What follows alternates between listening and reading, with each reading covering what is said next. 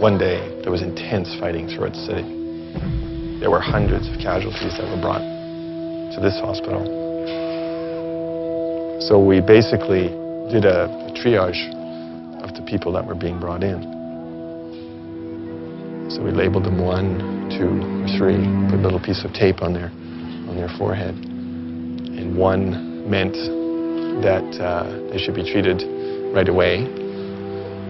Two meant that they needed to be treated within 24 hours. And a three meant um, that even though they were alive, they were irretrievable. Um, and um, so we laid the threes somewhere over here.